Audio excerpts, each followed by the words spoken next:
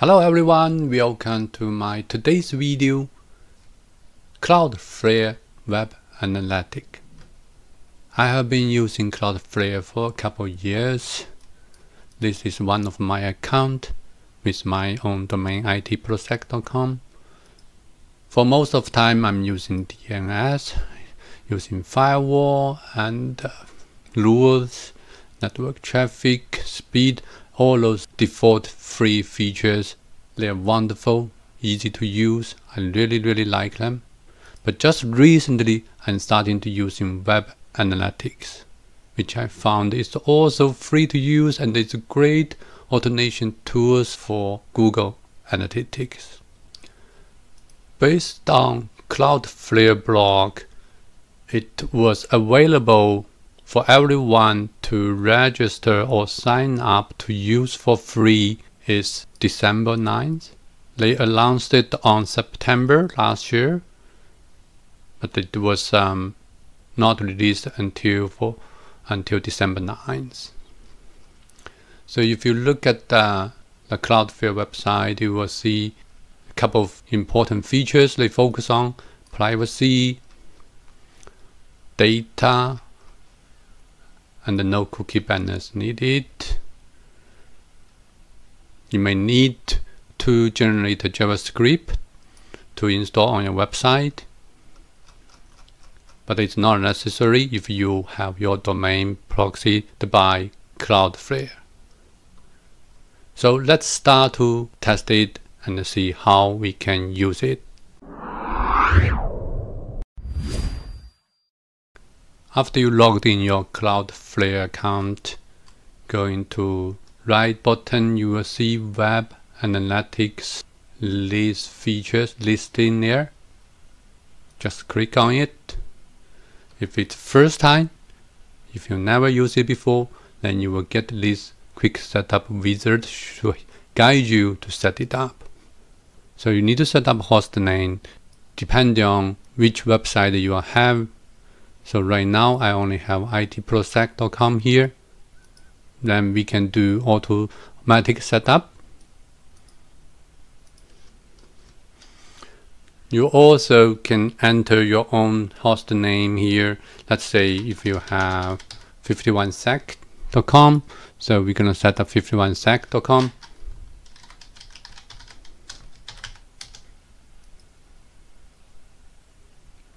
Done now you will get this JavaScript snippet. Since 51sec.org is not in your account, so you gonna they're gonna generate this JavaScript and then you can copy into your website and to track your visitors. Next. So then you can view analytics. But for us,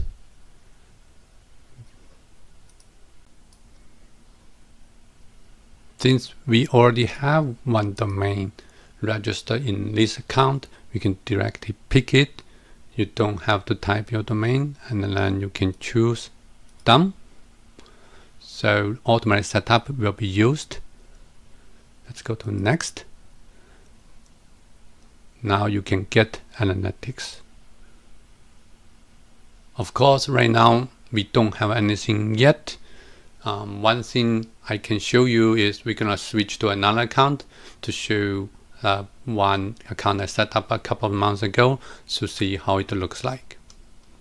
So now I switch to my 51sec.org list account.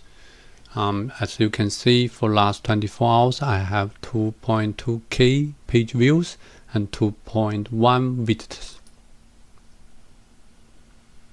As I said before, this is a great automation tool for Google Analytics. I do found one thing very interesting is the numbers are different from what I get in the Google Analytics.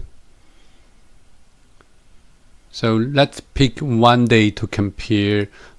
In what I can tell is Google Analytics has much less visitor count or session count or page count than Cloudflare Web Analytics.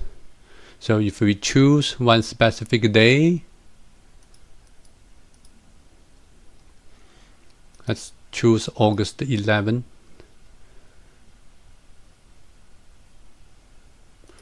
so I got 2.9k visits total page view is about 3.47k when you look at um, but that includes a couple of other sites. So what we can do we can just filter only www.51sec.org which gives us exactly the numbers for www.51sec.org this website I only have 1.72k and 1.95k for this website on that day.